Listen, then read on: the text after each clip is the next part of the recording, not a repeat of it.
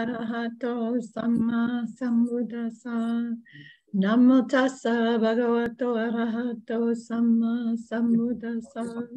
Namo tassa bhagavato arahato samma sambuddhassa. Homage to him, the blessed one, the worthy one, the fully enlightened one. We pay homage to him and to his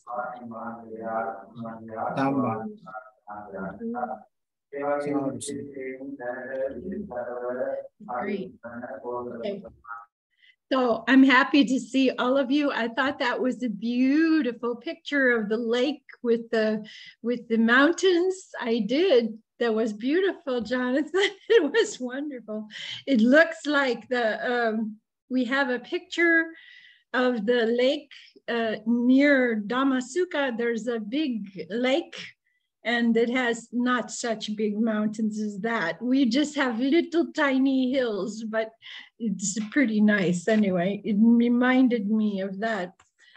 Okay, so today we are going to look at uh, at a sutta that don't do this very often, but I like this one because because I was involved with horses and cows and things like that. And, and because uh, training horses is a lot of fun. And in this story, Bhaddali is the name of the horse trainer. And in the story, uh, it, I'm just going to read it. We're going to see if we can get through this. It has a lot of turnbacks that we're going to go through, and then we'll talk about it. It goes through the different ways of training a person and tells you a lot about the monks too. So this is Majjhima Nikaya number 65, Bhaddali Sutta, to Bhaddali.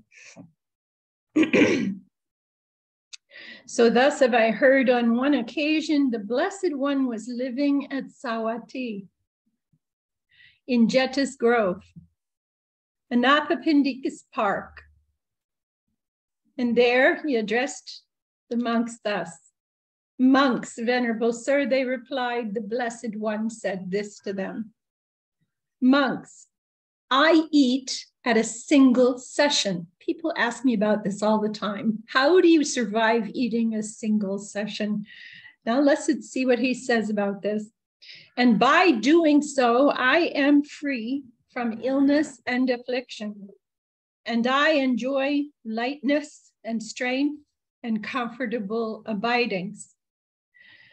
Come, monks, eat at a single session. By so doing, you too will be free from illness and affliction, and you will enjoy lightness and strength and comfortable abidings. When this was said, the Venerable Bhaddali told the Blessed One, I am not willing to eat at a single session, for if I were to do so, I might have worry and anxiety about it. Then, Bhaddali, eat one part there where you are invited and bring away one part to eat. By eating in that way, you will maintain yourself. So in the morning, when we take our bulls and go on alms round, the way it worked for me was I was walking alms in Pallekele in Sri Lanka.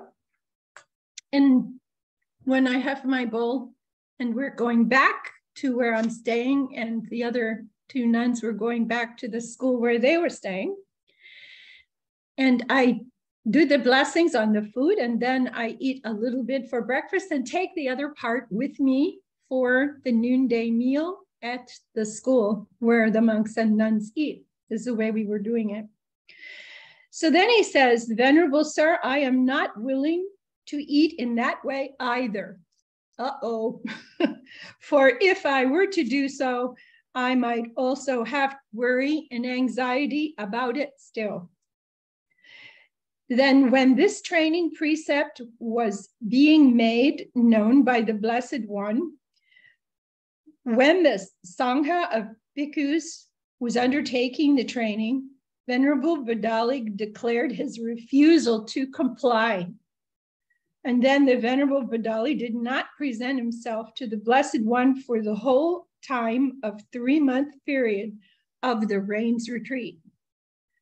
As happens with one who does not fulfill the training in the teacher's dispensation. He was not allowed to come to ask questions. He was not allowed to present himself uh, with the teacher if he was going to blatantly disavow dis um, one of the precepts. Now, on that occasion, a number of monks, they were engaged in making up a robe for the Blessed One, and they were thinking, with this robe completed, at the end of the three months of the rains retreat, the Blessed One will then set out on his wandering. And then the Venerable Bhaddali, he went uh, to those monks and engaged, exchanged greetings with them. And when this courteous and amiable talk was finished, he sat down at one side. And when he had done so, they said to him, Friend Bhaddali, this robe is being made up for the Blessed One. With this robe completed at the end of the three months rains retreat, the Blessed One will set out for wandering. Please, friend Bhaddali, give proper attention to this advice. Do not let it become more difficult for you later on. Yes, friends, he replied, and he went to the Blessed One, and after paying homage to him, he sat down at one side and he said to him, Venerable sir, a transgression overcame me in that, like a fool, confused and blundering, when a training precept was being made known by the Blessed One, when the Sangha of monks was undertaking the training, I declared my refusal to reply, comply. Venerable Sir, may the Blessed One forgive my transgression, seen as such for the sake of restraint in the future. This is the proper way to apologize to the teacher that you have broken a rule, ask for the teacher's forgiveness in such a way for the sake of restraint in the future so that you will improve yourself. And the system of monks was very forthright in asking in this way so that they would not carry the burden around with them in their mind. Now, surely, Bhaddali, a transgression overcame you, in that, like a fool, confused and blundering, when the training precept was being known by me, when the Sangha Bhikkhus was undertaking the training, you declared your refusal to comply. Bhaddali, this circumstance was not recognized by you. And the Blessed One is living at Savatthi, and the Blessed One will know me thus. The bhikkhu named Bhaddali is one who does not fulfill the training in the teacher's dispensation. And this circumstance was not recognized by you. You didn't know that I would know what's happening. now, also, this circumstance was not recognized by you. Many bhikkhus have taken up residence at Savatthi for the rains and they too will know me thus. The bhikkhu named Bhaddali is one who does not fulfill the training in the teacher's dispensation. The circumstance too was not recognized by you. Also, that this circumstance was not recognized by you, many bhikkhunis have taken up residence at Savatthi for the rains. They too will know me thus. The bhikkhu named Bhaddali is one who does not fulfill the training of the teacher's dispensation. And this circumstance, too, was not recognized by you. Also, this circumstance was not recognized by you that many men, many lay followers, women lay followers, are staying at Savatthi, and they too will know me thus. This bhikkhu named Bhaddali is one who does not fulfill the training in the teacher's dispensation. This circumstance, too, was not recognized by you. And also, this circumstance was not recognized by you. Many recluses and Brahmins of other sects have taken up residence at Savatthi for the rains and they too will know me thus. The bhikkhu named Bhaddali, an elder disciple of the recluse Gotama, is one who does not fulfill the training in the teacher's dispensation. So this circumstance too was not recognized by you. He did not take literally what would happen to him if he disobeyed the precept. Who would know about it? It just was a flutter and would just go all over to everyone. And Venerable Sir, a transgression overcame me in that, like a fool, I was confused and blundering. And when a training precept was being made known by the Blessed One, when the Sangha of Bhikkhus was undertaking that training, I declared my refusal to comply. Venerable Sir, may the Blessed One forgive my transgression, seen as such for the sake of restraint in the future.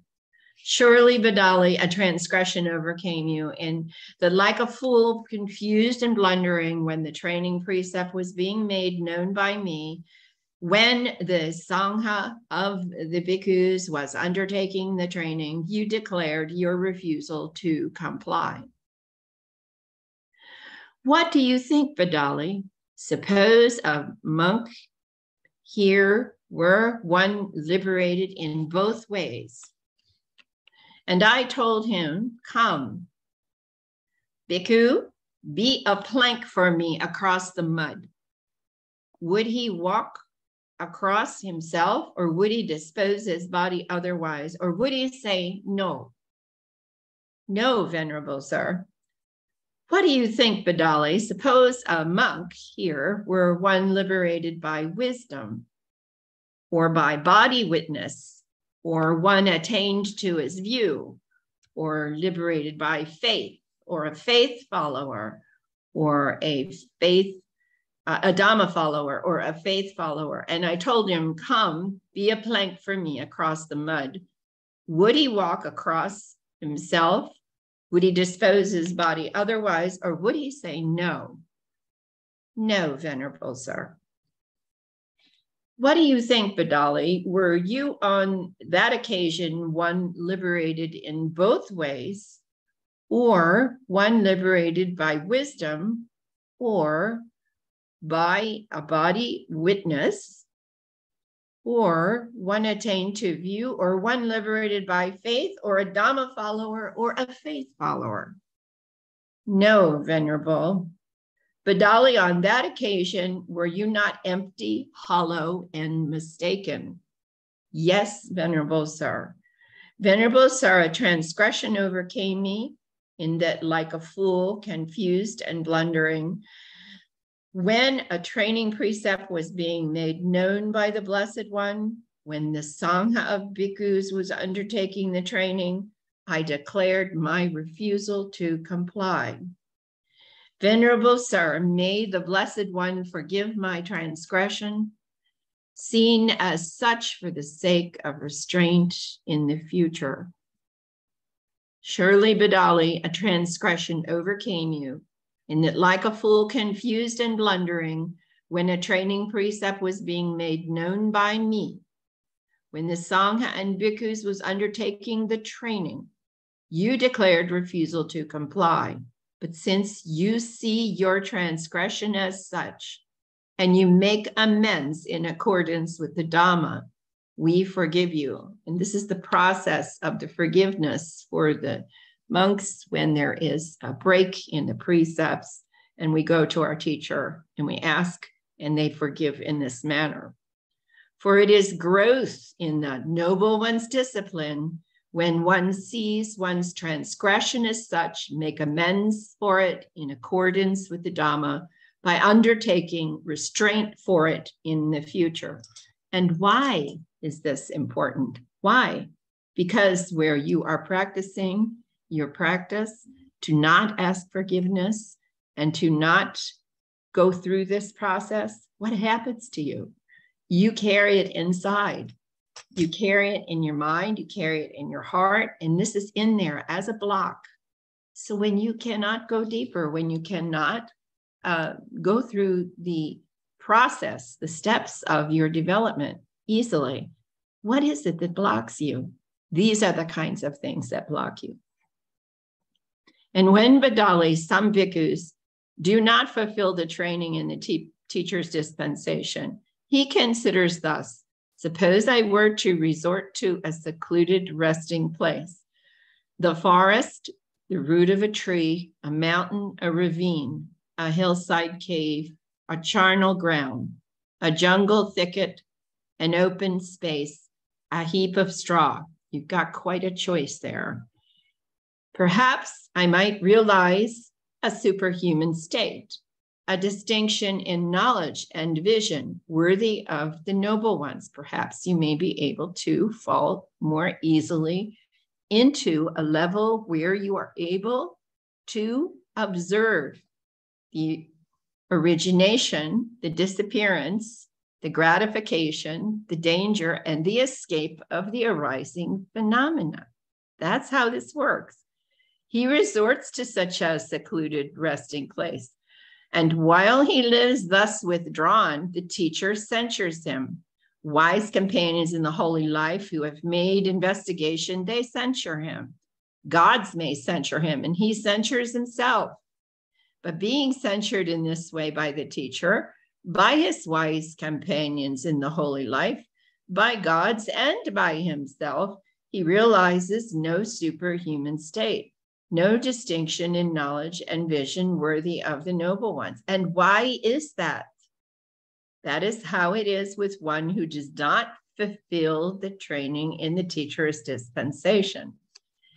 Basically, what it's about is back up go back and review the instructions, get down to the basics, and then you criticize, critique yourself. When you go back to the instructions, I was going to do this, might try and do it here, but not sure if I have the right set with me. But if you have your basic instructions, your 10 minute instructions, if you find your 10 minute instruction in um, in uh, some place where you can go through them and take the points, okay, that are the instructions to you. And then you critique yourself. What are you breaking in these in these instructions? And it goes, you know, deeper as you get more advanced and more knowledgeable of setting yourself up properly we have an open mic. Can somebody check their mic, please? Prashant, uh, I think uh, your mic is open. Can you mute? Prashant, Prashant's is, is open. There we go. Thank you. Okay. when you break, when you go in and you look at the pieces of things, you see what they were doing was looking at all the pieces of instruction and all the things that you are learning and look yourself and see where you're breaking down. Now, like for instance, we have a um, someone I'm working on. Where is that? Wait a minute. Hmm. I thought I had it right here. Well, maybe I do. Um, sometimes people will call me for coaching. They'll get in touch with me for coaching. And one of the first things we have to do is we have to figure out where they are. So suppose I'm talking to you as, you know, if you're if you're sharing or if you're attempting to teach or share, you need to look at this. When a person comes to you, it's like, hi, can you help me with my meditation? Okay, that's in, that's a line. but who are you? What have you been practicing? How long have you been practicing that? And what are the what type of meditation was this? And what's happening to your mind and speech and body and heart system and everything when you're practicing? Now you have to figure out then in if you're wanting help with TWIM, we have to sort of lasso you in, throw a rope and pull you in, and make sure before we spend any time helping you that we're talking the same language. We have to be able to speak the same terminology that you're understanding. And if you're coming to us thinking you have to concentrate hard, well, we have to change that to just gently collect the mind and observe. You see, this is just an example. Okay. If you're talking about the terminology, we do change some of the words that Bhikkhu Bodhi used in translation. We do not change the meanings. So if I said to you, applied and sustained thought, and I want you to watch that happening in your mind, you might not really understand that. But if I said the same thing to you a different way, if I said, I want you to watch the thinking and examining thoughts and see if you can see the thinking thoughts coming up. They just pop up, but the examining thoughts, you personally engage them. So then, what are you doing with them? What am I doing when I'm teaching you? But what are you doing in what you're practicing? It all comes back to um, we have a, a broad base out there in the world of all meditation is just the same. No, it's not and this is not just talking about TWIM and other things. This is talking about Vedanta and and I mean, you know, you could probably name four or five or six different ones. These are all different, Sean. You know, this is this is all different. And what do we mean by meditate? Meditation. What do we mean by mindfulness? What do we mean by craving? What is craving? You see, these are basics. So, in order for us as a teacher to get involved in in in uh, you know coaching someone. Someone said to me once, "Why won't you coach me?" I said, "Because you won't you won't come and spend time with me to sit down and sort out the basics first.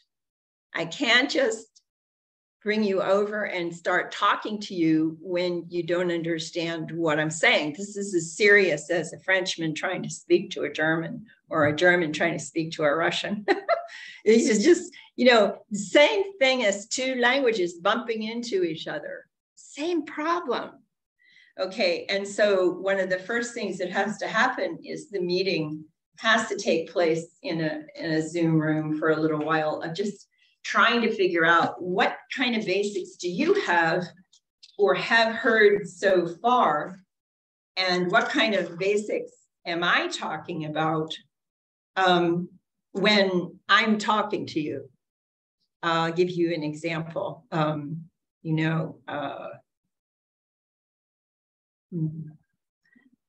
how do you look at feeling? How important is feeling? But how do you personally view, look at feeling? What do you think about it? What do you know about it? And one person was very concerned about controlling feeling. Now, this goes back to an interesting um, exposure I had to someone who said, I figured out everything. Came into the interview and said, I figured out everything. I, this is good. Okay, what did you figure out? I don't have to suffer anymore. Okay, why? How, how did you do this? Because I'm not going to feel anything anymore. Therefore, I will not crave. You see, I understand dependent origination. I will not feel anymore. well, I'm listening as I'm sitting here with my pain pills at night. I'm listening, you know. Um, you know, uh, because when I lie down right now, it's not pleasant thing. I have to figure out. I, I've thought about this. I'm sort of examining suspension from the ceiling in sort of like a parachute seat where they could hang me sort of in a hammock. Maybe that would work and I, nothing would be touching my body while I'm sleeping. I have I have dreams about that. you never know what I'll figure out. Anyway, concentration. Um, concentration's a big one because concentration is uh, indicating trying hard at something and concentrating is tension and we're teaching the opposite of no tension and tightness. And the quick way to understand this, if you if you can open up to just um, considering the quick way to understand this, is where are you ultimately trying to go in your practice? What is the ultimate goal? If you say nibbana, what is it that we know about nibbana?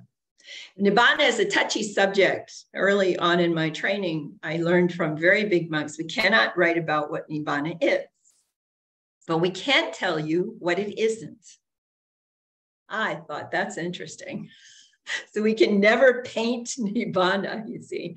but we can we can um, talk about and we can probably experiment with what we prefer. Of course, it all comes down to preferences, blues, pinks, you know, whatever. If we're painting Nibbana, what is it that we you see, then it gets personal. What do I want Nibbana to be? Nope, doesn't work. There's nothing personal about it. I am not involved with it at all. It, it we say no concepts at all. Ooh, no concepts at all. I love to talk about Nibbana. Nibbana has no concept, a place of no concept at all. What is a concept? Bhante went to this often. Bhante would say, This table that's in front of me, the table is a concept, but is it the legs? Are the legs of the table? Is that the is that the table? What is the table? You see? What is it? Is it the uh, the wood, the leg? We do it with an automobile. Most of the time, he does it with an automobile. Automobile is created in a concept room at the automobile industry, the it all begins with a concept room. You heard about concept cars, Tesla's concept cars. Well, that's this concept of an automobile. But where is the automobile? Is it the wheels? Is it the seat? Is it the steering wheel? Is it the engine? It goes on and on. But it gets even more fun when we say, What is Nibbana? we cannot even speak of it because language is really where it gets fun. There's no word in the entire English language that is not a concept. We even tried to apply it. I was walking around trying to apply it while I was working in the center, uh, you know, and I'd come back down for lunch and say, I've got it. You know, what about a, and, and the?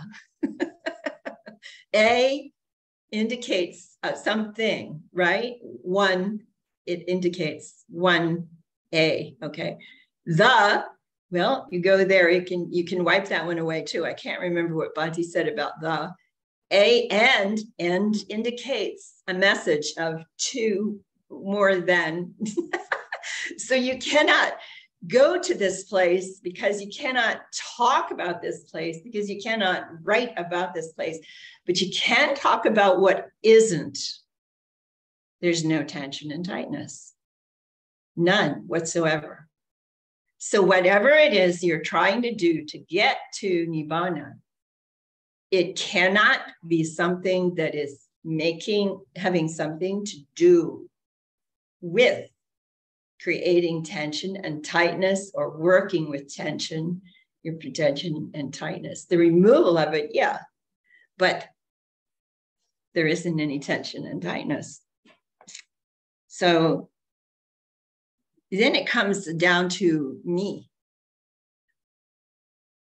myself, full of tension and tightness.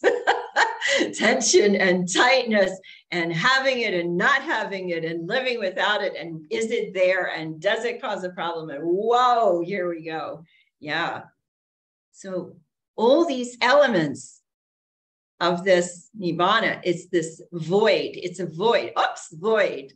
Oops. 121, 122. And what is the last line in 121, 122? You tell me. Can you remember what it was? Um, yeah. And as to what is, um, and as to what is, let's see, I, I always, I say I'm going to know that by heart. Wait a second, I'm almost there. Um, yeah, it's 121, the last page of 121. Yeah. He understands that which is present, thus, okay, he understands, here we go. He regards it as void to of what is not there. So what's not there, it's void, it's gone. But as to what remains there, he understands that which is present, thus, this is present. So no matter what it is, when it's void of that, there's always something. This is okay because they decided that space is not a vacuum and they decided that that space has something in it. And when I pressed and questioned someone from MIT that I know, uh, about what is there then. They said something intelligent. I said, where did you go with that? How did you? I did. I stopped the conversation at that point. Something, something, in, intelligent. We're not going to say what it is, but it isn't. But this is present. All of this is fun. But coming back, let's come back to Bhaddali.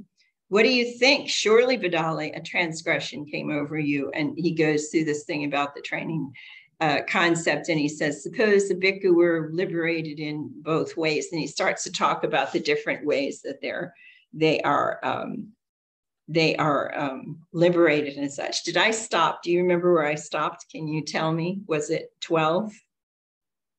I think it was 12. If this is what do you think? Were on a, a, that occasion, one liberated in both ways. One was liberated by wisdom or by body witness, or one attained to a view, or one liberated by faith, or a Dhamma follower, or faith follower. These are all the different levels of people that come to Buddhism, all the different levels of people that come for all the different reasons they come to Buddhism, not necessarily the key story or key goal or key objective. So it gets very interesting. Bhaddali, on that occasion, were you empty, hollow, and mistaken?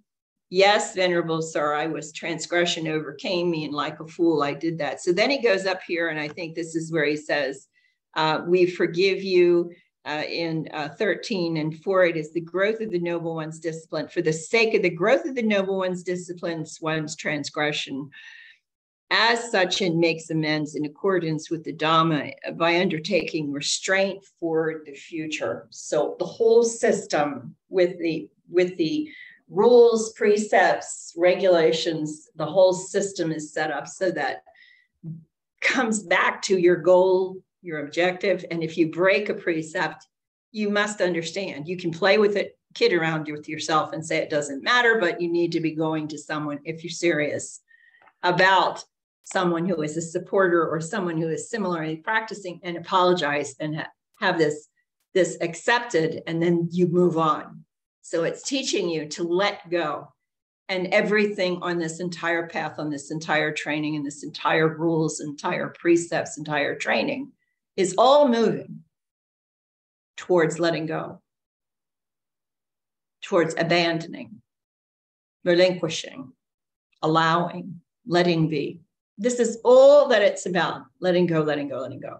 So in the case of this person who came and uh, had some questions in, in in reference we have about feeling we have to go back and say but what was feeling and look more closely at dependent origination with the person that i was talking about in order to help them to coach them and such we have to find out where they think this is sitting where is where are the four noble truths where is dependent origination? Where are the seven links? Do we understand how we're working with all of this? Do we understand why? Do we understand what we're trying to do? Reboot the computer, reboot your brain. That's what you're trying to do. You're supposed to restart your brain, turn it off, turn me off, and turn it back on and see what happens if you have the information, the knowledge of the construct, when you come back on, how long can this stay with you? That was an interesting thing. We had a retreat recently, and some of them eh, held on to it for a good period of time. Some people went through the first time and were able to hold on to it for like a week long. It's a long time, you know, the first time that you are able to do this. But the more you understand really clearly the the construct of this whole trip, the construct of the investigation of where you're going, of what you're doing, and the abandonment and relinquishment, and how that's all supposed to be working, then when you experience turning off and turning back on, you relax into it with less and less stress because you understand how it's working and you take care of it. Now, those women I talked to you about uh, that I like to talk about the nuns that were the Catholic nuns that did this program that I taught last, I think it was last year in September, a year ago. Some of them held on to it for six or seven months. How'd they do that? And they kept practicing and they kept building and they kept sitting long because they had that time to sit long. That's one of the luckiest things they had. In their daily construction of their life, their programming, they have this time for personal prayer or personal meditation. They take it, they use it, and that's one of the supporting factors for it is to keep using it and keep on experiencing that empty place. Okay, let's keep going. Bhaddali, some bhikkhu does not fulfill the training. He considers, suppose I were to resort to these different places, these different types of resting places, and the wise companions in the holy life by the gods, by himself, by realizes no superhuman states. It doesn't happen. So here, Bhaddali, some other uh, monk does not fulfill the training uh, in the dispensation. He considers, suppose I were to uh, were uh, to resort to these places, all the same places we talked about. He resorts uh, to some such secluded resting place, and while he lives thus withdrawn, uh, the teacher does not censure him and his wise companions. Um, and they do not censure him, and the gods do not censure him. He does not censure himself, and being uncensored in that way by the teacher and the wise companions and the gods, and by himself, he realizes a superhuman state. How does he do that? A distinction in knowledge. Something comes very, very clear to him, and vision very, very clear understanding of very of the noble ones and quite secluded from sensual pleasures, secluded from unwholesome states, he enters and abides in the first jhana, which is accompanied by applied and sustained thought with joy and happiness born of seclusion. Why is that? That is how it is with one who fulfills the training in the teacher's dispensation. Now, while in this stilling, the stilling and, a, and a, of thinking and examining thought, he enters upon and abides in the second jhana, and then with the fading as well of the joy, he enters upon and abides in the third jhana, and with the abandoning at that point of pleasure and pain, he is now uh, he uh, enters upon abides in the fourth jhana. And why is that? That is how it is with one who fulfills the training of the teacher's dispensation. Fulfills the training of the teacher's dispensation. Understanding the knowledge and the wisdom behind the Eightfold Path, the Four Noble Truths, the dependent origination, the Eightfold Path. Understanding the step by step system of the Four noble truths for your personal investigation. Knowing every time you go in, there is suffering and a cause. Yep. Go ahead. Uh, I've got a question, uh, Sister Khema. Uh, going back a couple of paragraphs, paragraph 14. Yep. Where, where the meditator is being, or the bhikkhu is being censured by everyone. And it also says he censures himself. Yes. And that it's and even that is not good enough. Because is this because he's not gone through the, the process of, if you like, verbalized uh, um, confession and the process of receiving forgiveness? In my opinion, yes. So I think this is a really you know you can uh, you can be um, and it doesn't have to be bringing God from heaven to forgive you. I want to make this clearer. This can be a person of the of like mind, of like training. It is the same to another human being. This uh, there's something that happens for us with um, forgiveness that is a functional thing to ask for forgiveness, literally. You see? Yeah. What if we were what, what if we were practicing in isolation would would it be effective in that context to to verbalize the transgression to uh, to the Buddha, to a Buddha Rupa or whatever, and ask for forgiveness and retake the precepts if we were in isolation, or do we need to do something different? Yeah. No, I think that you could do it in isolation, but I'm Irish. The reason I'm saying that is my Irish tells me everything's alive. So if I'm doing it to a tree, I'm perfectly happy and I'm doing it to you, I'm doing it perfectly happy. So what I'm saying is the person has to, you know, I, I just this is my personal feeling. I mean, I uh, lived with someone who was a um, agnostic and was never going to have anything to do. Was he was not there wasn't what, what is the other one the more severe one? No no god at all okay? It was agno- agnosticism but he never really was balanced i don't think uh, because he couldn't do this with somebody you know? He needed to have somebody to do this to.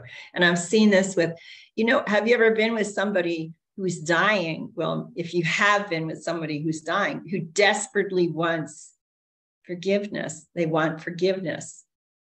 To give this to a person who is dying, you know, who's been injured in a severe or a real traumatic uh, disaster or something like that, of course you give them forgiveness. And nobody's going to say they didn't have forgiveness given to them when a person can give this to another person. This is what we, the disconnect that we have today with each other is the very unfortunate thing in humanity. Very unfortunate thing. And I, I don't know how uh, how it'll all come out in the end. But it will work its way through some sort of a system eventually to come to some place because humanity has to come to a commonality. I mean, I used to laugh about Ronald Reagan saying the little green men are coming, and that's going to be the day when they come in their ships and they land. That's going to be the day. He he did that in a speech before he left the presidency. You know, it's very famous about that. Yeah, but he's making a point. At some point, some time, either we have to figure this out or you know then humanity will be superseded by the king of the jungle or whoever else. You know we will not be at the top of the heap anymore. I have trouble understanding why they say we're at the top of the heap. I have trouble with that one. Yeah. Oh my goodness when something's blatantly in front of you and you have something as organized as for instance the UN and you say they're going to do this and everything and you teach these kids that it's all real and it's going to actually fix something and never does anything. It's just uh, it's not that it never does anything anything. It's that it doesn't do the anything that really needs to happen which is an organized program of commonality between humanity and each other because the most important thing is their survival. And yeah, my uncle was right. It all comes down to one thing pure water. That's it, pure water. That's all his last words were. It all comes down to pure water. And what he meant was we were trying to get to the bottom of all this month after month for four years when I was in Asia and he was in the States, and we talk like once or uh, every couple months for an hour on the phone like that. And we never could come to this one place. And that was for him, that was it. Yeah. Um, I was just wanted to reinforce your comment about forgiveness um, and, and, people dying. Uh, so I had a client who uh, I worked with in hospice, and mm-hmm. Uh, and I took her through the forgiveness meditation. Uh, and this was really, really transformative for her. Um, it was really, really helpful. And, and certainly from the beginning to before that to after that, uh, there was a, a, definite shift in, in mind. It can be one of the most uh, tremendous things that can happen for a person to be able to have somebody with you at the end and just be open to helping them look at that program You know, it's a very, it's very um, basic, simple thing um, to look at yourself and forgive, forgive, you see? And then anybody else. And also, I will point out to you, I don't know what was happening for her, but I've done the same thing. And, and, uh, what I noticed that was remarkable was that within a minute, the person has people popping up, you know, very quickly, because that's normal as a person is dying. As the person is dying, we get to meet those people that left before us many times. People have the vision of, I see my father, I see my mother, I see my grandfather, I see my great grandfather. You know, I see these people, these per- people that are gone already.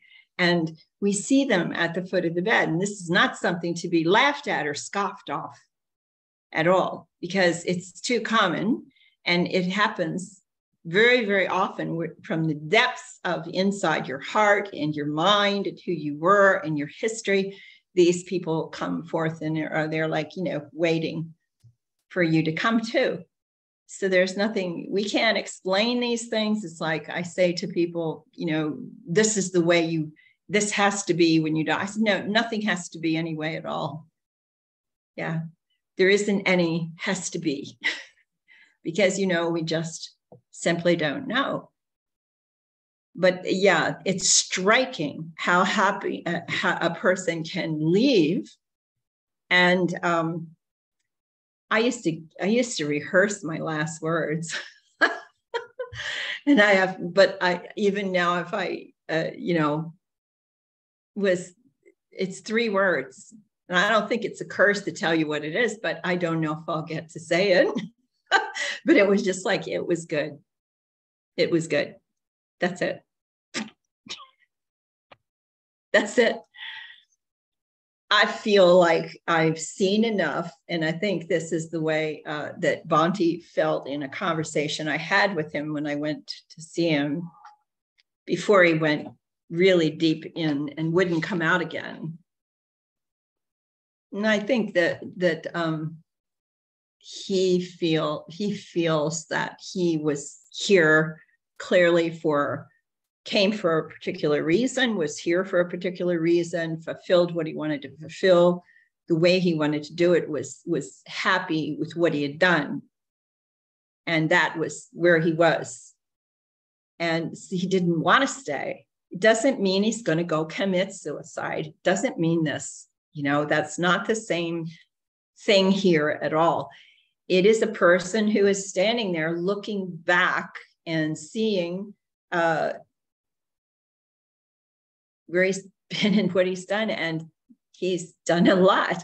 You know, it was an incredible amount that he did. The years that he was in Asia, the places that he went, and the the uh, the different groups he was involved with and his own personal search for um, the arahat and such as that, which he never fulfilled.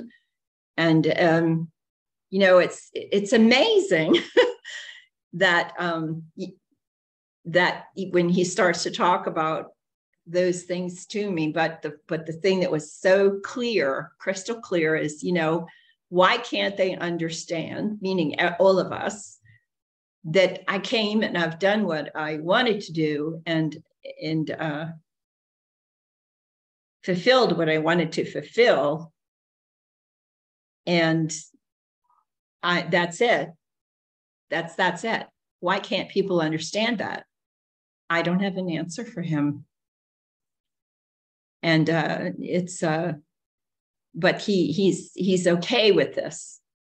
He knew he was slipping, slipping, slipping. You see, he knew that was starting to happen. Yeah, I, I think the difficulty is because for people who, who are not inquiring in the way that, that perhaps he he was, um, everything is measured by outcomes uh, in terms of, of, of deliverables of sort of fixed things. And actually, what he started, it's a bit like the turning of the wheel. Uh, he, you know, he started a process, and, and, the process has its own own energy. It's not it's not his energy. It's it has its own energetic component. And whilst there are people who are interested in and and committed in in, in what he taught, the, the wheel will keep turning. Um, uh, yeah. The gift that he gave was is, you know, starting that process off. Yeah. Yeah. Uh, absolutely. And, and that's that's that's it. Whereas I think outwardly other measures can be uh, applied and there can be seen in that sense so much more needs to be done but no the, the you know the process has been started uh, and that's and that's the work that needs to be done yeah exactly so i need to get strong enough to go to africa now you know, i was telling someone the other day i really wanted to do that you know but i just I don't think that's gonna, gonna happen. But um, yeah, and he did. He we we used to sit and talk about seeds a lot, and that's what we were seeding. You know, we used to talk about Johnny Appleseed when I was driving across the country. We've been to places uh, throughout the throughout the west of the United States where we saw the trees that Johnny Appleseed had actually planted you know, in different areas. And it was very fascinating. The whole story of the apple in the United States is really an interesting story. So he's a real person and he really did that. that was his way. And then we would uh, say, you know, that you don't know where you're going to end up planting seeds, you know, in, in the town by the by where everybody's around you or a really nice farm or just in the middle of nowhere. You and we would say yeah you don't know where you're going to end up sleeping. Like that was my story where where the nun was going to end up sleeping as he's taking me around to show me and meet these abbots and uh, all these different temples in the united states. And um, they are making figuring out where they're going to put me to to sleep that makes it all okay and it's really fun so uh, there have been many, many stories about that. Yeah. so let's go back to this and see if we can go through the rest of the way because this has some has some switchbacks in it, but I want to try to keep going. Okay. Um, so you see what was happening. Okay. And then as we turn the page, now we go down to 16. We're up 16, 17. Okay. Then he was, con- when his concentrated mind, is thus purified and bright. It's unblemished, rid of imperfections. It's malleable, wieldy, steady, and attained to imperturbability. He directs it to knowledge of the recollection of past lives. Now you go back to 51, section 24, and all of this is going to be a, a, a flip back to um, 24, 25, and 26, saying, listen to this one. And this is the way that he was teaching me, which is fun because I found it later and I went running to him and I said, This is the way you were teaching me. And he said, Yep, this is the way I was teaching you. Um, when he concentrated his mind, when with his concentrated mind is uh, is thus purified, bright, unblemished, rid of perfections, malleable, wieldy, steady, and un- attained to the imperturbability, which is the fourth jhana and beyond. In the, you know, arupa jhanas, okay, he directs it to knowledge of recollection of past lives. So, what it's telling you here is when you do this practice, he is trying to make sure that you understand you have to be into the um, have this kind of a mindset. It, it's purified it's bright it's unblemished it's rid of imperfections. It's abandoned. Anything that is looked upon as an imperfection is something that makes your mind uh, tight or occupied in any way and then he directs it to the knowledge of the recollection of past lives once again okay malleable wieldy steady means you still have control in your observation attained to imperturbability, that imperturbability statement is telling you right where it has to be to that level before you can do this. He's telling you this. He directs it to the knowledge of the recollection of past lives and his manifold past lives of one birth, two births, three births, up to 100 births, 1,000, 100,000 births, and you can go on and on and on. Bhante had one student that did a hundred thousand something like this through, I can't remember, one or two eon things claimed that she was able to do this. And um, this is the many eons of world expansion, eons of world contraction and expansions. This is your time frame in when you're talking about uh, Buddhist uh, cosmology. You're talking about the time frame from the um, the burst, like or the uh, what do we call that in science? The main explosion from the little tiny prick of light, bang, and then you have Big the bang. expansion for a period of time. Big, Big bang, bang, thank you. Big bang, I got that one. The Big Bang happens and you have an expansion. Now, the length of the expansion goes out, and as it is expanding, there is life. That's where life happens from that, that, that powerful energy that's expanding. When it gets to where it stops, it rests and rests for the same length of period of time as the expansion.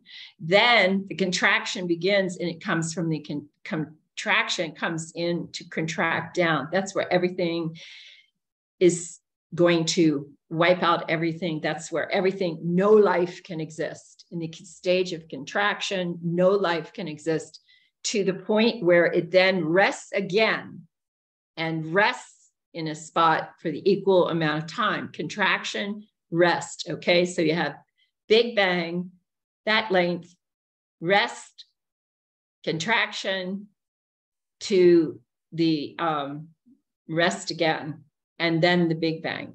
Okay, so this is a cycle. Now they go back. I love it in the Science Museum. In my lifetime, I saw them change all of this to agree with what the Buddha said. I think it's great. Okay. So there I was, so named. This is the clarity of remembering now.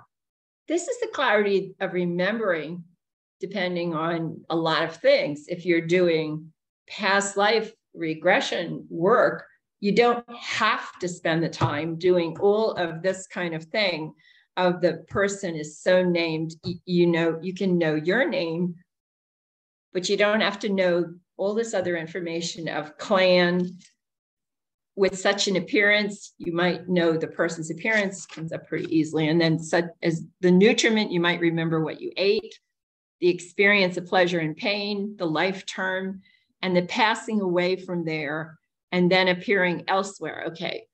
When people talk about regressions that um, they're working with, a lot of times, and this is in the uh, most recent research has been done on regression work. You know, there's some books out there that are claiming a lot of times people will uh, land in the position on the day the person's going to die.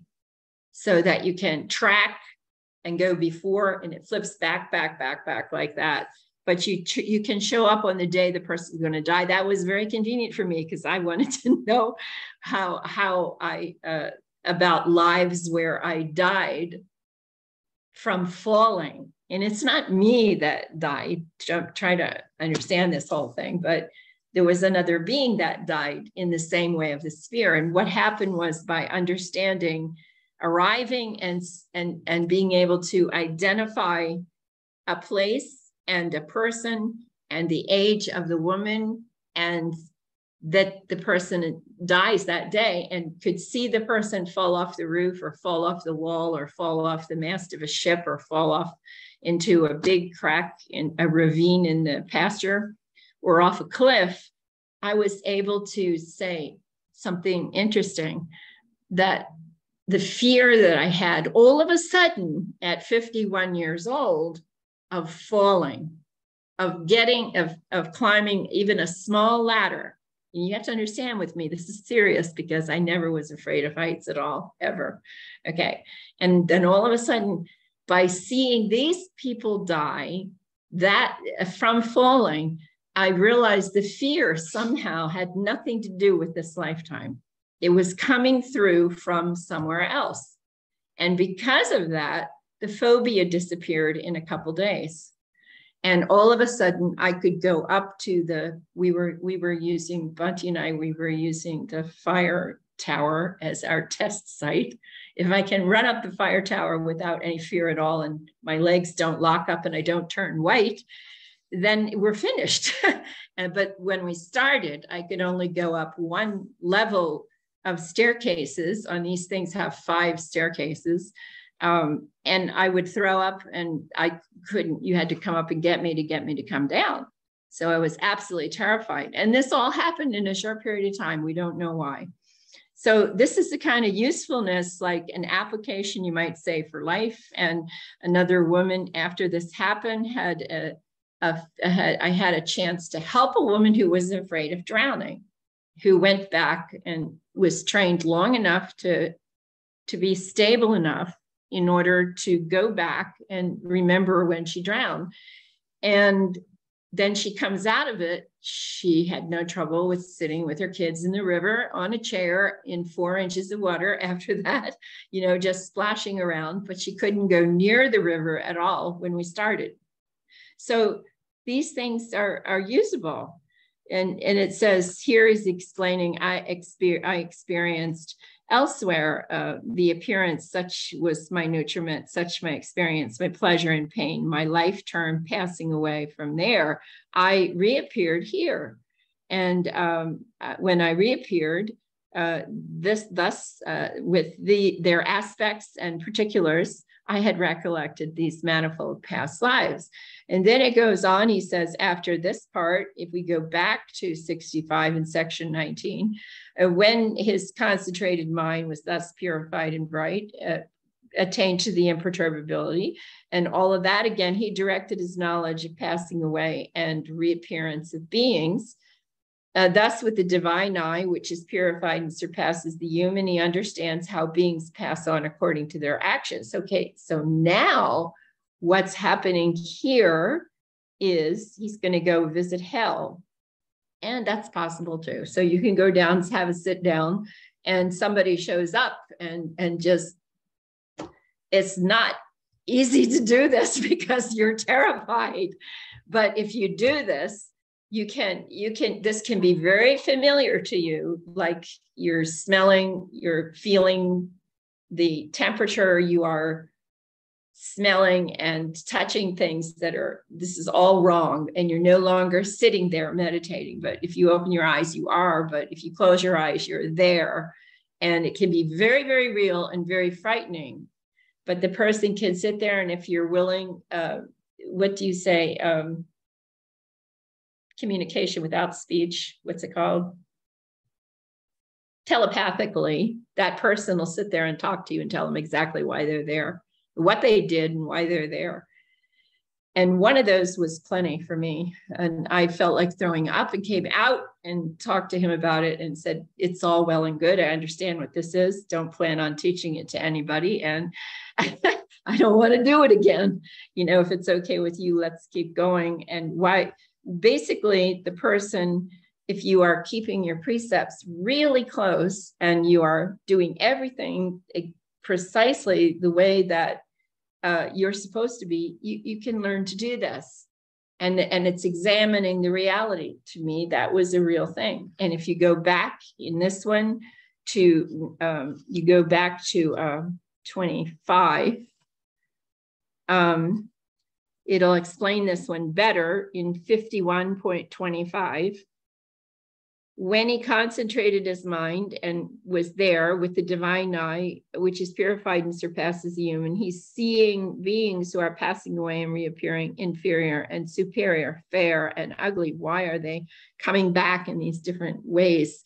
Fortunate and unfortunate, he understands how beings pass on according to their actions. And these worthy beings who were ill conducted in body, speech, and mind, they were the revilers of the noble ones and they wrong in their views giving effect to wrong view and in their actions and in the dissolution of the body after death having reappeared in a state of deprivation and in a bad destination in perdition and even in hell. But these worthy beings who were well conducted in speech and body and mind who were not the revilers of the uh, the noble ones, They were right in their views, but giving effect to right view in their actions on the dissolution of the body after death, having reappeared in a good destination, and even in the heavenly world with the divine eye, which is purified, surpasses the human. He was able, uh, he sees the beings passing away and reappearing, inferior, superior, fair, ugly, fortunate, unfortunate, understands how beings pass on according to their actions. In other words, it's a huge lesson in what goes around comes around. That's what this is. And if you have a question of the validity of karma, and it's like I was trying to encourage people not to get overly involved in discussing karma because the Buddha advised against it so ferociously because you can just go on and on. And there's always reasons not to understand it or not to accept it. Um, and he's not going to spend his time teaching people how to do this. He was adamant about that because it's not it's not your purpose. What he brought you in this lifetime, in this span of one lifetime, was the ability um, to totally go through and with a with a balanced set of knowledge and go through to the point of arahatship and just not come back ever have to go through this again. And so this was his gift. This is what he wanted to teach. This is what he emphasized. So you don't, no matter which books you go to, you're not going to find a whole heap of lessons like this one that's going to talk about this stuff because it wasn't primary. And you're going to find more examples of how you shouldn't get involved because there's almost no possible way you can prove it other than personally experiencing some of it okay, then we go past this one. When is concentrated, um, mind is purified and bright, and all of that, he directs it to the knowledge of the destruction of the taints. Now he's coming back to earth. Okay, he understands is it actually that this is suffering. Now he goes back to 5126, and it gets more to the point. He says basically he directs his knowledge of the destruction of the taints. He understands as it actually is this is suffering. And he understands as it actually is this is the origin of suffering. And he understands as it actually is this is the cessation of suffering. And he understands as it actually is uh, this is the way leading to the cessation of suffering. So he's saying unquestionably without a doubt very precisely and exacting through your own personal knowledge and vision direct knowledge will reveal to you how these things work and how life actually works. And so he understands as it actually is that these are the taints. The blockage of this understanding he understands as it actually is the origin of the taints, and he understands as it actually is the way leading to the cessation of the taints, and the, what's leading to the cessation of the taints is the repetitious and uh, the repetitious practice of the right effort repetition, repetition until mind empties, naturally empties. There isn't any more anything more to this. This is where we have just volumes and volumes and volumes and libraries and temples stacked from floor to ceiling and palm leaves yet un, untranslated piled up in cabinets everywhere in Sri Lanka and Thailand and Burma and everywhere. But there isn't anything more to it than this, is understanding the taints, the origin, this, the, uh, the cessation of them, and the way to the cessation. And by using the practice of, um, of right effort and constantly, continually doing that, then the mind, we know through, how do we know it? How can I say we know it? From neurocognitive science today, we know this. I just went over an article that I wrote in 2018. And it was when I first, uh, it was when I first read the information in regards to um, the neurocognitive science and what it really meant. I was so excited I couldn't help myself. I just could not believe how exciting this was and why didn't we hear about it? And we're reading about it in 2018, 2016, 2018. Why hadn't we heard about it? Why is this is one I can understand when you finally mm, discover titanium is more strong than steel, but the public doesn't isn't told anything about it for another 50 years. But this, how could you not be telling people? I mean, this told everybody in the world nobody is stuck in their behavior anymore. Nobody is stuck and you're always going to do this. Nobody can sit in a relationship, point to the other guy and say, You always do this and you're never going to change. Nobody can do that anymore. Why? Because people can change because it might be harder for an older person to change than a younger person but the methodology and the systematized way the system systematized method is right there and proven and actually now you can watch it on an mri and an on fMRI. You can do it once as often as once a week until you watch that anger management um, you know, pathway disappear and turn into a big pink one that's called loving kindness instead. Well, maybe it's not pink, but I can imagine anyway.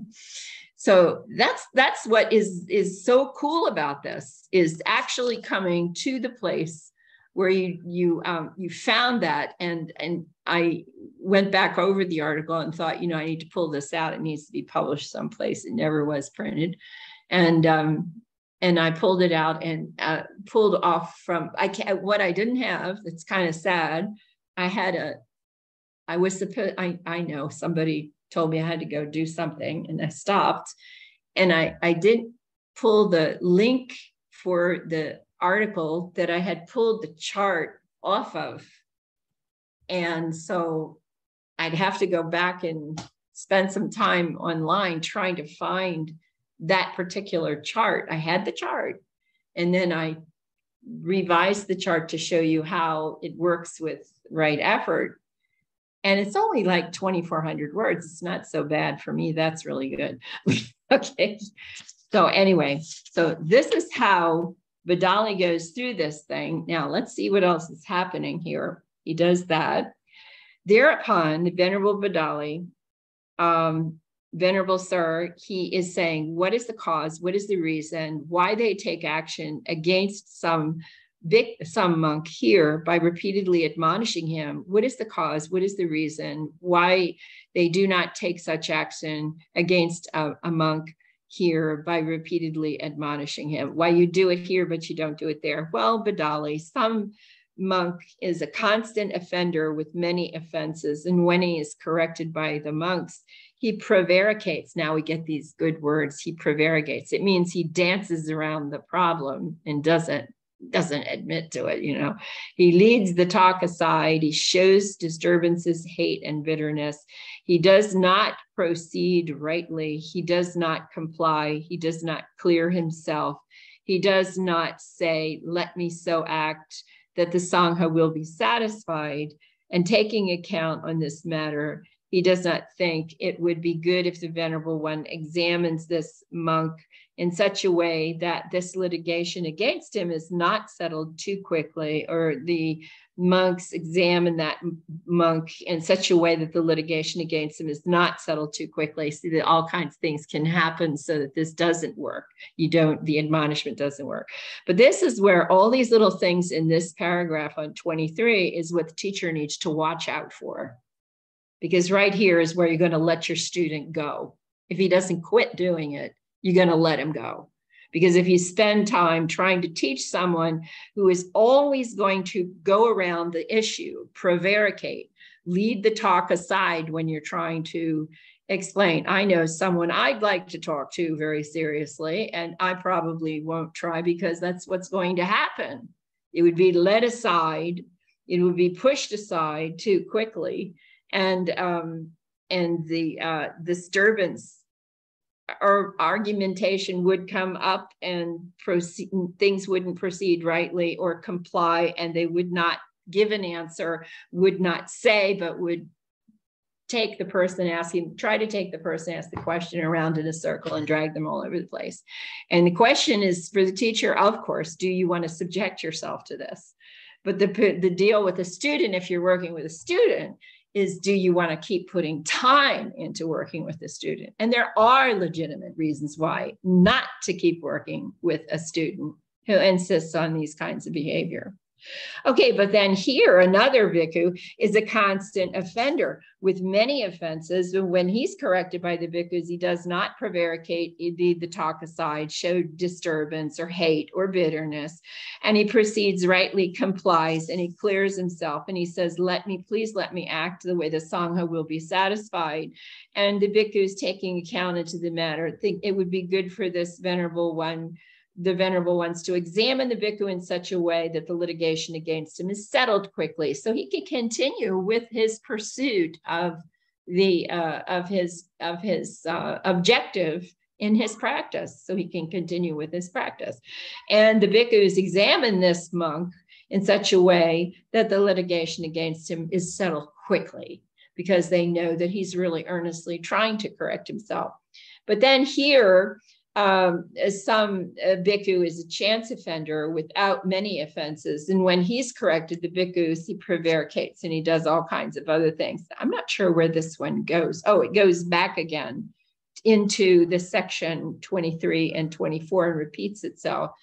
And um, the bhikkhu should examine this bhikkhu in such a way that the litigation against him is not settled too quickly. That's like if you go back in 23 and reflect on that one again, it's saying um, don't do it so it's settled too quickly uh, because you need to find out what really happened.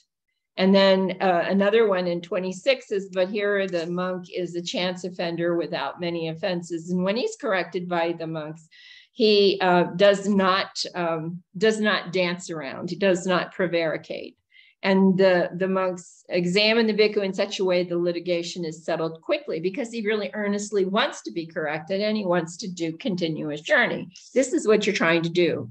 Find the good ones, keep those good ones in the front of the pack, keep working with them sincerely. It's up to the teacher how much patience they have. Bhante had tremendous patience, unbelievable for long periods of time, you see and would not say it's time for you to go home. Okay. but, but on occasion, it's time for you to go home happens actually too. So here are some uh, some monk progresses in, by a measure of faith and love. And in this uh, case, the monks consider friends, this monk progresses in the measure of faith and love. Please let him not lose that measure of faith and love, as he may, uh, if we take action against him by repeatedly admonishing him. Suppose a man had only one eye, and that his friends and companions and his kinsmen and relatives would guard his eye, and thinking, let him not lose his one eye. And so too, this monk progresses by measure of faith and love. He's trying very hard, and let him not lose the measure of faith and love uh, that he may, if we took action against him and repeatedly was admonishing him in the wrong way. You have to be careful and be kind. Then this is the cause at 28. This is the reason why we take action against some monk here by repeatedly admonishing him. And this is the cause. And this is the reason why they do not take such action against a monk here by repeatedly admonishing him. Now, Venerable Sir, what is the cause? What is the reason why there were previously fewer training rules? This is a good place to mark this so you find it again. It's a really good one. Why, what is the reason why there were previously fewer training rules and more monks became established in final knowledge here and now. What is the cause? What is the reason why there is are now there are now more training rules and fewer monks become established in finer knowledge in in final knowledge here and now? That is how it is Bhaddali. When beings are deteriorating and the true dhamma is disappearing then there are more training rules and fewer monks become established in final knowledge. So you have a lot of monks running around and very little knowledge running around in their pockets. And okay, and they're not able to teach a lot. So the teacher does not make known the training rule for disciples until certain things that are the basis for taints become manifest here in the Sangha. But when certain things that are the basis for taints become manifest here in the Sangha, then the teacher makes known the training rule for the disciples in order to ward off those things that are the basis for taints. Now, all of the training rules that the monks have to deal with have a story to go with them and that's the way that you should be learning them if you're going to study them. You should not stay and study with a professor that gives you the book and said, here it is. We're going to go through all these training rules so that you know what the training rules monks follow. Don't do it. You need to learn how it all happens. And then some of it's just absolutely his, just it's almost you want to cry and some of it you feel like laughing so hard you'd end up under the table. But you know that there had to be a rule otherwise the lay people would not respect the monks and all of it was done to protect and the can and continue the existence of the monks. And this is one of the reasons why these training rules have no place for the lay people and they're not supposed to have them in a book on the shelf to refer to and say, you monks shouldn't be doing, because you don't know. You do not know the whole history of that rule. And you don't really know what's behind it. It is not your domain. And one of the most dangerous things that has happened in the in the dilution of the Dhamma, the delusion which is upon us, is what happened in one country where uh, a monk just decided to just write a book and publish it. And that's what started the whole thing. And then all of a sudden, there they were. And all of a sudden, then all the discord happened between lay communities and monks and such and so. But they didn't have it. That's a funny thing. They didn't have the whole story. They only had the book with the rules. Just remember that. Okay, now here, um, the certain things the base okay we can't now 31 those things that are the basis for the taints do not become manifest here in the sangha until the sangha has reached great things. Uh, greatness okay and when but uh, when the sangha has reached greatness then those things that are the basis for taints become manifest here in the Sangha. And then the teacher makes known the training rule for disciples in order to ward off those things that are the basis for the taints. That they that it's all about again protection of the Sangha for the protection of the teaching. Now, those things that are the basis for the taints to not become manifest here in the Sangha until the Sangha has reached the acme of worldly gain, the acme of fame, the height of fame. I think this means, okay, uh, great learning, long standing renown. And when the Sangha has reached this long standing renown, then those things that are the basis for the taints become manifest here in the Sangha. And then the teacher makes known the training rules for the disciples in order to ward off those things that are the basis for the taste. So once again, it's about protection. And there are few of you, Bhaddali, when I taught an exposition of the Dhamma through the simile of the young thoroughbred colt. Do you remember that? Bhaddali, there were only a few of you when I taught you this way. Now, now we listen to this. No, Venerable Sir. To what reason do you attribute that? Venerable sir, I have long been one who did not fulfill the training of the teacher's dispensation. And that is not the only cause or the only reason, but rather by encompassing your mind with your mind. I have long known you thus. When I am teaching the Dhamma, this misguided man does not heed it. He does not give it attention. He does not engage it with all his mind. He does not hear the Dhamma with eager ears. Still, Bhaddali, I will teach you an exposition of the Dhamma through the simile of the young thoroughbred colt. Now listen and attend closely to what I shall say. And this is how you teachers should be watching your students struggle. This is exactly what's happening. The Blessed One then said this lesson Bhaddali, suppose a clever horse,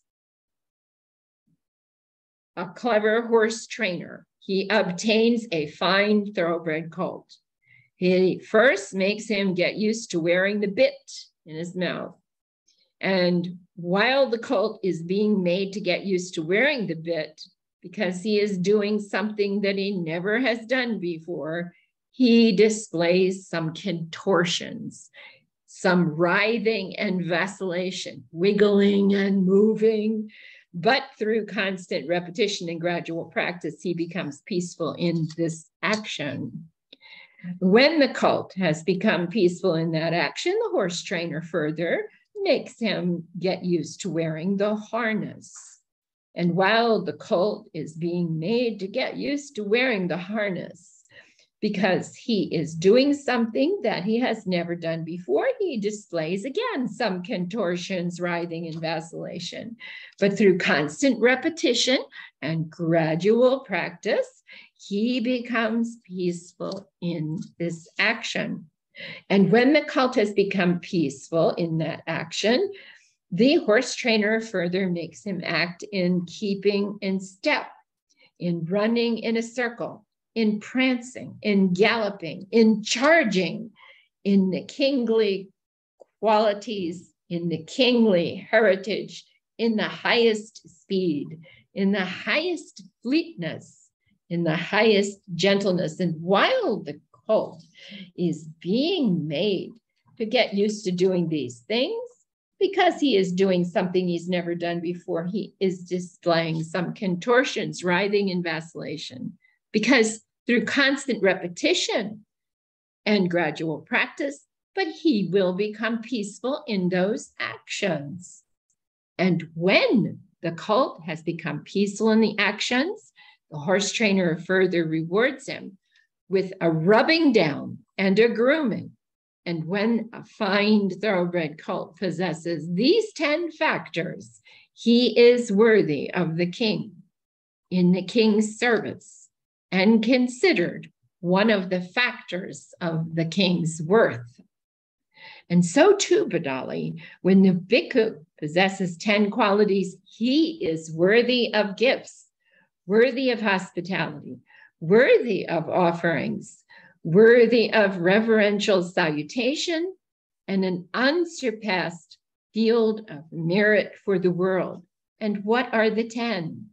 Here, Bhaddali, a bhikkhu possesses the right view of one beyond training, the right intention of one beyond training, right speech of one who is beyond training, right communication, and right action, harmonious movement of mind's attention beyond the training, and the right livelihood harmonious lifestyle of one beyond training and the right effort of one beyond training. This is the right practice of one beyond training.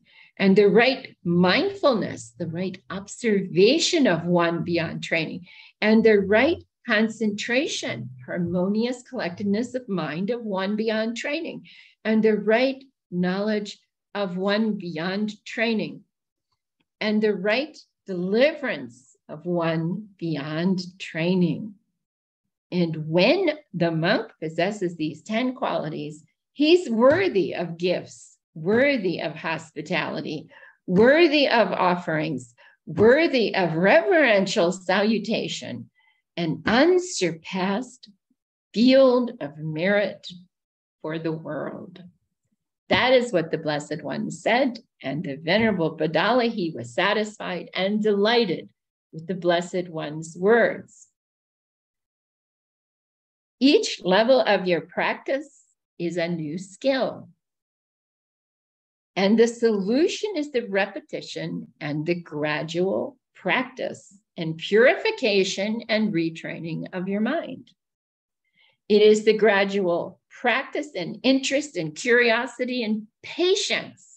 Those three pieces interest, curiosity, patience has to be added by what? Added by Sammavayama, by right effort, that practice. That is the support system that he gave, the system of the horse Bhaddali trained. So, this is the lesson as we learn it today. Anybody got any questions? Okay. Just, just, I just wanted to pick up a, a, point which you, you mentioned earlier, but just to kind of uh, clarify it in my own mind. It's in paragraph 23. Uh, uh-huh. and this is where we've got uh, someone who's constantly offending or that and is being censured, but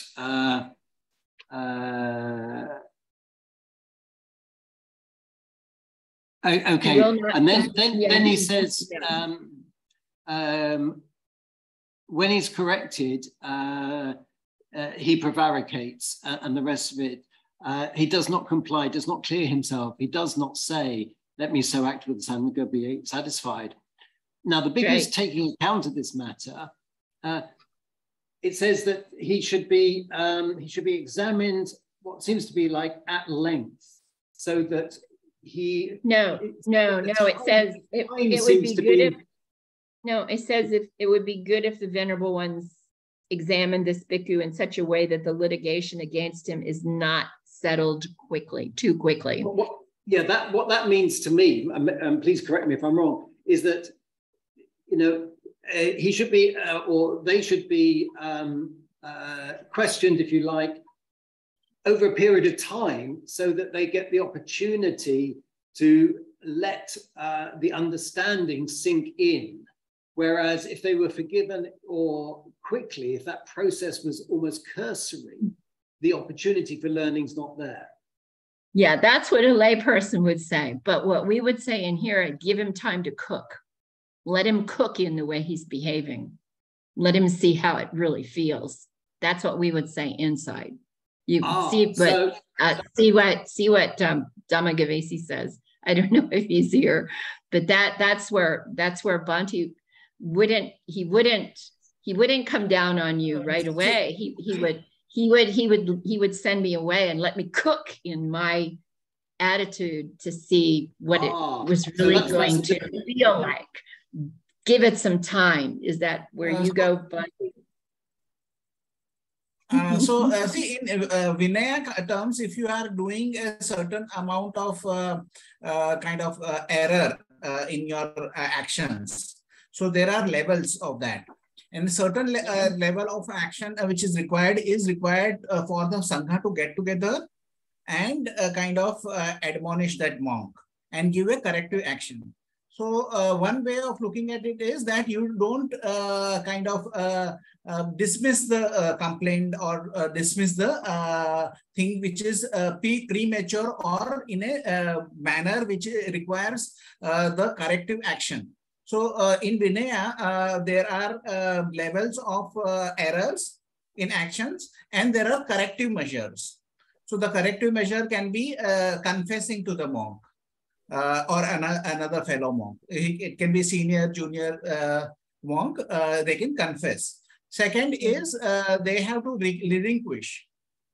So they relinquish that item which they had acquired, which was not as per procedure. Then there are uh, actions uh, are required uh, by the monk as a corrective action that he does a corrective action. Uh, like uh, certain times he will uh, kind of give up his seniority in the line of the lunch. so in going for Pindapata, he will maybe be in the last in the line. Those are the kind of corrective actions he takes. He gives up his seniority for a certain amount of time. So those kind of things uh, means that uh, what is the error and the action is to be uh, means uh, to be uh, equal to the uh, error and uh, nothing has to be dismissed uh, kind of quickly uh, to kind of not take up the take it take it up as per the Vinaya. So it has to be properly handled. Okay, uh, so Bhante, what would your understanding be about uh, that the litigation against him is not settled too quickly? What, uh, what? Uh, means it is not dismissed uh, that okay, okay, uh, we will kind of get get we are these four months are there, we will just resolve this issue over here. not like that. You have to do it in a proper manner, which is required. So okay. if there 20 monks are required, then we uh, we get those 20 monks and do the procedure. Oh, okay. So uh, it is not like you do not dismiss the uh, uh, issues uh, offhand. So certain things require uh, 20 monks. And sometimes what happens is you have to go through the whole district to get them because that area does not have a monk or they're not free or something like that. So it's a whole big process to do that. Uh, so uh, we have to kind of uh, take that into account that sometimes it may be a kind of a temptation to kind of say we'll kind of settle this up but that is not how you have to do you have to do it as well proper procedure certain okay. are uh, where you can just confess and that is the end of the story okay thank you that's very good Thank uh, you. Because Vinaya, yeah. Vinaya was a lot of thing uh, which we had to uh, learn and deal with. yeah, because there are situations where sometimes the monk has to like leave the group of monks and with a group of other monks, and um, he has to be retaught a section uh, of rules and stuff in in um, private, and then he has to come back afterwards. So in order to do that, you would have to go and get like 10 or 12 monks to all go together. So everybody's witnessing everything and it's all above board, everything. So it's very carefully done, very, very carefully done.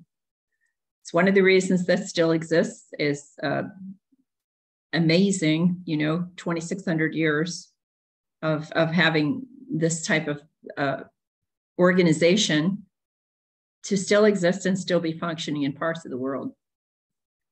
It's not necessarily operating fully in a lot of places right now, but it is operating enough that it is still a very strong and steadfast presence that you can say that this is remarkable and it was done this way. And this is unbroken, which, we say is unbroken, is because the upajjhaya the person who ordains, has a record of the uh, person he was ordained by.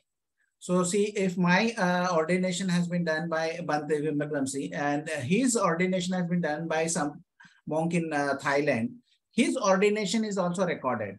And that ordination can be traced back to the Buddha. So this is an unbroken chain. And uh, it required a lot of effort also. Like when uh, Sri Lanka two times had a situation where there were no monks which were kind of clear uh, in the sense that they had uh, they were not 100% sure that this monk has not committed parajika so they uh, were kind of uh, or was not ordained uh, maybe not ordained correctly this monk so they had to kind of find a uh, monk who was ordained properly so they went to thailand and got ordained and brought back the kind of lineage back to sri lanka once uh, it happened in uh, uh, Thailand, they were not sure. So they came to Sri Lanka that time. And uh, one uh, king who ordained as a monk in uh, Thailand went to Burma as well as Sri Lanka to ensure that uh, he is ordained by uh, somebody who is uh, properly ordained and he has a, this link to the lineage. So that is the reason we say this 2600 year lineage is unbroken. So Some monk Buddha uh, ordained, and that monk ordained another monk, and till now, till date, uh, we would have that uh, linkage if somebody were to trace it. So that is the reason that is an important uh, factor. You know, there is no other uh, system which is 2016 or and has that kind of record of Buddhism. it's just a technical. Thank you, Bhante. So anybody else have a question about this? Okay, well, I'm happy. Yeah, Sarah. Hi, thank you so much.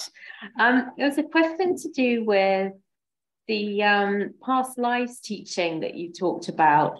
And mm-hmm. then I'm just curious about the juxtaposition of using that with then simply using the uh, teaching in the present time. When, when and I understand that the story that you know around it was very helpful with phobias. Um, so it's really just a question: why, why, why do we need it, or when would you use it in the sense Oh, it isn't, no, it isn't, it- yeah, it isn't a need. It's not like a need. It's not in the training. It's, it's up to a teacher if they decide to take you on that path. That's just something that Bhante decided, you know, when I was training with him. And actually, when this, when the incident happened in reference to the, um, the height is what set it off, you know, in this case. It wasn't, he's, he's pointing out to me, this was a path of training that, and I can't remember how that worked. Um, yeah, I guess it was the first time. The first time was why why did I ha- hit my head so often? Uh, you know that that was in 2002. That was when I was I first gone through, uh, and and then uh, that whole thing was revealed because I found out who I was before. That was a whole different issue, though. This one, the phobias, I was interested in the fact that later on at the center, and uh, that was much later. Uh, well, the old house was still there, so you have to say it was probably before 2010, something like that. We didn't, the house hadn't blown away yet. Um, and uh, I needed to go up on the roof to clean the rain gutters is what happened because it was draining into the kitchen. It was leaking through the ceiling. And the only way to fix it was to open up the drains so that when it came off the roof. So he sent me up on the roof with a big spoon. And I, but the problem was when I got to the roof, it was that quick that all of a sudden I'm terrified of heights. Well, what happened? And as soon as I stood up on the roof, I, I had to get him to come partially up the ladder to, to, to make sure that he could hold the ladder so that I could get down. It was absolutely just, he thought I was going to have a heart attack or something. I was just bright gray. And that's why we did that. We did it as a solution. Yeah. No, it- you are still on mute. Sorry. Is it like something like a, a, a fast a fast track um, for when there's a, a, a disturbance, when there's already obviously a significant development? You mean, no. So obviously you've got to have a significant development in your practice even to be able to do this past life regression work. No, and no, actually, anybody can be taught, but it's a difference is people blocking it because of all kinds of things they think about time. That's usually what blocks it to, to have a person roll it back. The same problem exists in in uh, hypnotism, in hy- hypnotic treatments. You know, using hypn- hypnotizing someone as a modality and using that same problem exists. Is they don't believe it's possible, so they try to block it. You know, with this, it's like time blocks it. Um, yeah there's a there was a like a fast track pa- uh, a fast track path where the teacher could decide to have you uh, try the the past lives and then the other one that was mentioned what was the second one? Yeah. And Bhante explained that and i said well i you know he, he i didn't ask for it and he never asked me. He was just taught me. He, he never asked me do you want to go this way? Do you want to go that way? It was the tendency of the student how they were doing where you would send them me deciding to send a student into forgiveness and seeing that they were blocked set that kind of thing. He saw the opening and um, he saw the opening for where is it? The second part that was explained. Yeah. Mm. where is it? I can't find it. It's um One one thing I can uh, tell about in the suttas, uh, the uh, factor of uh, past life is shown as a kind of a knowledge or a kind of a information which you uh, Yeah, gain. three Uh, knowledges. uh-huh. There it is. Three knowledges. Yeah, you look up three knowledges in your look up in three knowledges in your index. Can you do that for me? And you look up. Um, I think you'll find under knowledges or three knowledges. Uh, uh, So this is mm-hmm. basically uh, for uh, understanding how uh, your attachments are there uh, to kind of a personality. You know that personality which is there currently uh, was not the personality which was there, and how uh, the process of the impermanence happens. So Buddha sees that where we were born, what was the food which was there, what was the nutriment. Right and uh, what was the uh, kind of uh, the end. Uh, so uh, it is like uh, seeing in fast forward or what is happening kind of in, in that life. So how were you born? How, how did you live your life? What was your food? And how, how did you kind of pass away? Then again it happens and again it happens and again it happens. So the futility of uh, the uh, kind of we are uh, in, in, my case uh, uh, uh, i can could not kind of envision this life being anything other than the totality of the time. Okay? So if i was 25 then I was thinking that if I, I have to die at uh, 75, I have only 50 years. So my uh, uh perspective of life was in this 75 years. But the Buddha is saying uh, uh, in many, many ways that even say one says that the tears you have shed for your relatives, that would fill all the oceans in the world. So that is uh, kind of giving a perspective of how many times you have been born. And then you have to kind of uh, multiply it with the difficulty of becoming a uh, human, as born in, as a human being, which, which is shown by a uh, kind of a turtle and a ring and all that simile you are aware of.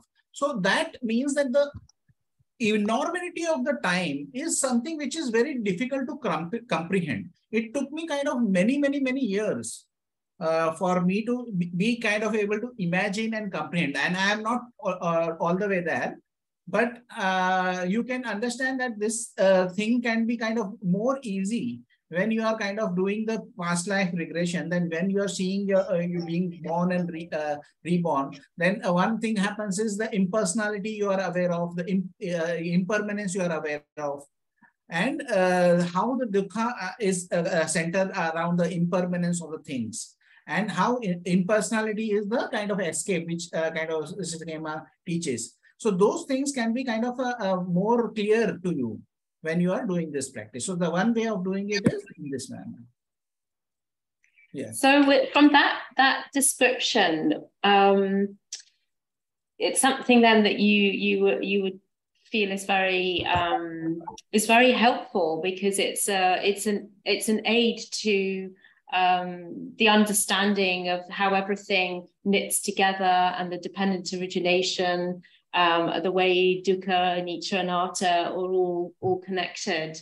Um, so it's a it's a yeah it's a help it's a helpful adjunct in development and consolidation. And is, is that how we would look at it? And yeah. it's something we could. Are we are we looking? Are we looking at the practice of it? Is that what we're looking at? Yeah, as a as a practice and as a practice, yes. The, the difficult part, uh, the difficult part of teaching somebody past lives. What's the what's the what's the curveball here? In a sangha, there are group. Uh, you know, there's usually a teacher available. There used to be. Let's put it this way: there used to be a teacher available, and a group of monks that were able to reference this teacher who was knowledgeable enough about teaching past lives that a person could very uh, you know, practice this amongst people who understood what was going on and have the teacher at their fingertips. The thing that is unsafe about teaching past lives to people is that if you're not in proximity of a teacher, it can be dangerous. And dangerous is the only way to put it because it's so real that when you are sitting there and you're meditating and all of a sudden things start smelling a different way or you open your eyes and you're not in that room, it can totally freak you out and you don't know what you will see. And a lot of times, like I was told when I was doing this, the work on this, you know, on why why did I have 11 concussions by the time I was 16 years old, 11 concussions where I hit the same spot on my head every single time. How, why? That's the that was the question into this whole thing. Okay. And it turns out Yeah, it turns out I opened my eyes. I am not in that room. I am sitting there with a dead body in front of me with worms and snakes in his stomach, and a woman across the room from me, like maybe 10 feet away. And the stench was unbelievable, unbelievable. But I'm still in the house in Florida in a room. I'm nowhere near where this is. What would I have done if Bhante hadn't been there? Because I broke the sitting and went out to him and said, okay, what the heck is going on?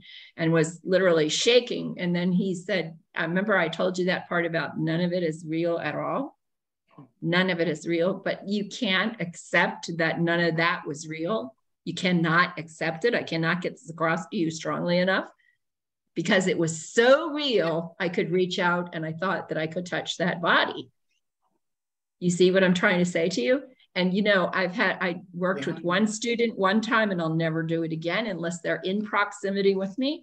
And and he told me in the future, if you're teaching, you don't ever teach anybody um, unless they're in proximity with you. And this person pushed me and pushed me and pushed me, and they were in another country for heaven's sakes.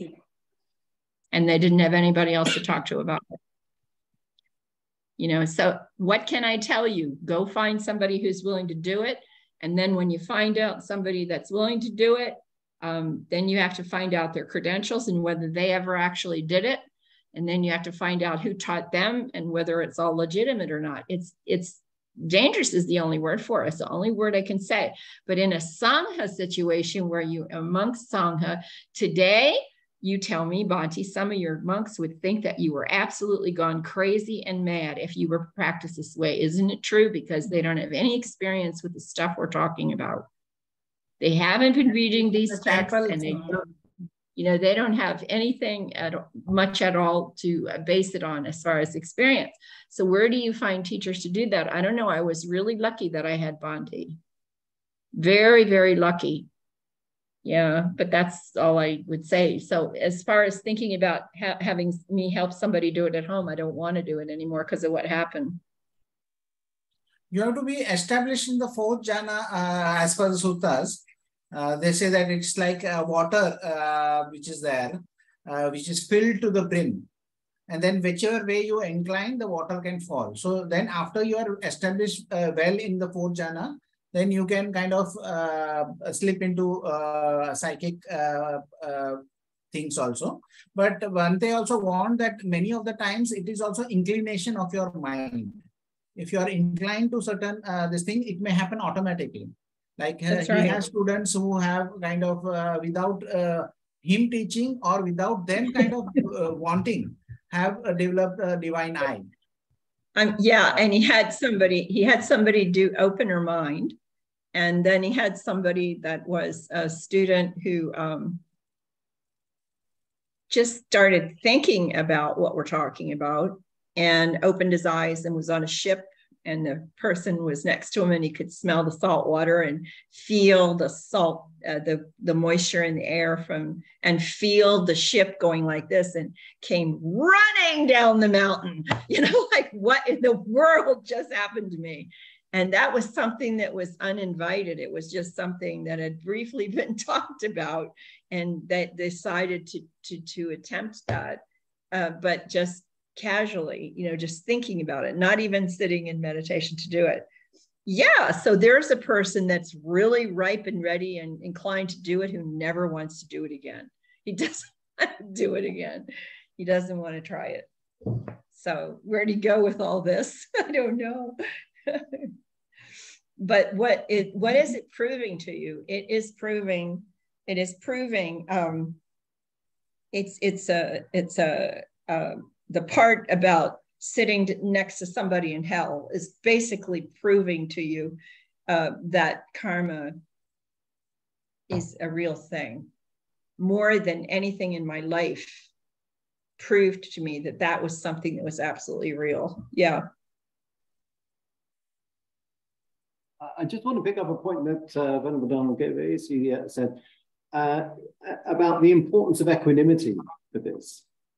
Without the without the equanimous mind, um, then uh, there isn't the the settledness to simply observe. I mean, the That's is all right. about simply observing what's going on. And if That's you can right. then treat, treat this as another thing to simply observe, rather than uh, own or make part of us yourself uh, as a personal experience, but simply as something that has information in it, uh, in the same way that we look at some of the Arupa jhanas, that there's information in the Arupa jhanas to be seen and understood.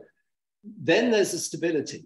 Without that, then it's almost like all bets are off because there's difficulty distinguishing between what is a real experience and what is an unreal experience. Um, not saying that the Arupa jhana experiences aren't real, but they're not personal. That's that's the key thing I think from what uh, from what I understand of what you're saying here. Yeah, exactly. It's very good. Yeah. So, shall we say prayer? okay. Yes. May, may suffering ones be suffering free, and the fear struck fearless be. May the grieving shed all grief, and may all beings find relief. May all beings share this merit that we have thus acquired for the acquisition of all kinds of happiness. May beings inhabiting space and earth, devas and nagas of mighty power share this merit of ours. May they long protect the Buddha's dispensation. Sadhu, sadhu, sadhu.